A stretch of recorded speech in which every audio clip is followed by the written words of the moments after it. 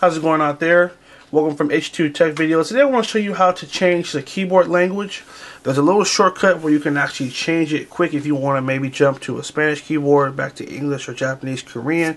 Maybe you don't want to change the whole interface to a certain language, but maybe you want the keyboard to be in a certain language, maybe for someone that you're working with that does speak a different language. So let me walk you through how to do that.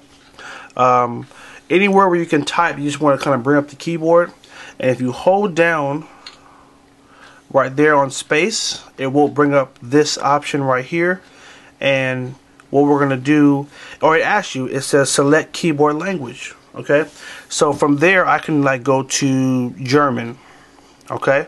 And now my keyboard is in German but my whole Kindle is not in German. There is a setting, I have a separate video that will show you how to change the actual language on the Kindle, but this is just so when you type, you can uh, have it in that German keyboard or French or English or Chinese or Spanish.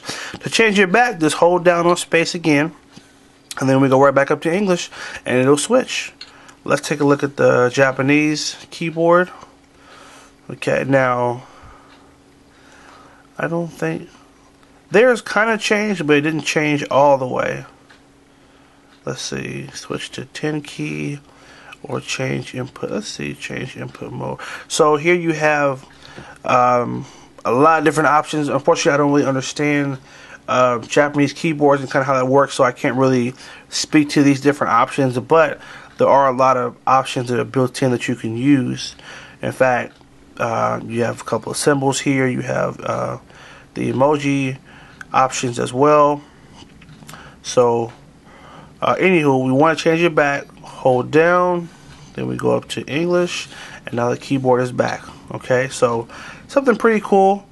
Um, especially if, again if you're working with someone or whatever that doesn't really understand the language, and you have the option to um, change the language for them, but you don't have to have the whole Kindle in a whole different language.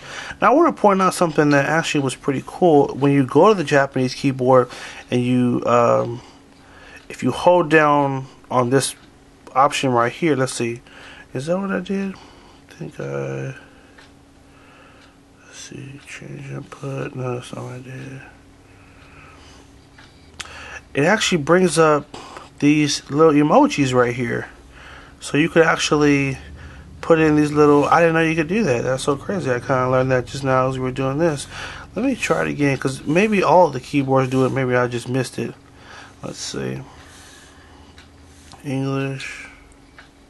No. So it's only in the Japanese keyboard. That is pretty cool. So I'll make sure probably do a separate video on that because that's pretty cool. Um, but anyway, this is how you change the language on your Kindle Fire HD on the keyboard. Now there's a separate video where you can change language on the whole device, but if you just wanted to tweak the keyboard for a little while and then tweak it back, this is the better way to do it without having to possibly get caught in changing the language and not being able to change it back. Okay?